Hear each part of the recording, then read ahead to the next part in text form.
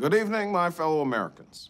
With me, as always, is my anger translator, Luther. What'd it do? Uh, as you know, for the past six years, uh, I've received my fair share of criticism from the Republican Party.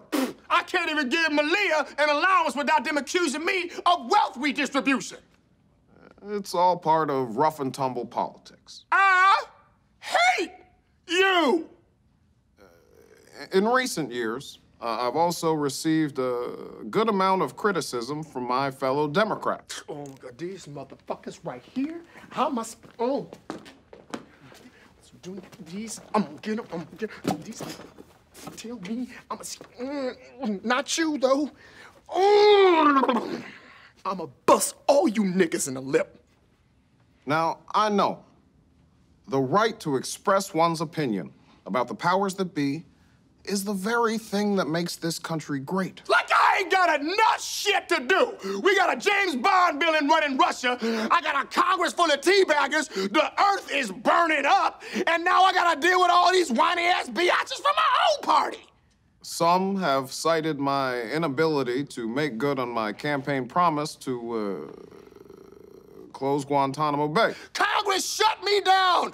I'm a president, y'all. I'm a president, not a king. They checked and balanced my ass. I mean, god damn. Uh, and then there are those on the left who have criticized my continued usage of drone strikes. Yo, You know what?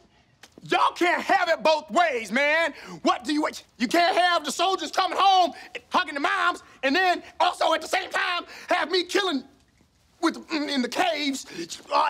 Y'all should be embracing this technology because it's pretty amazing, man. It's awesome. All you do is pick up the phone and say, "Excuse me, I'd like to order two dead terrorists." Blip.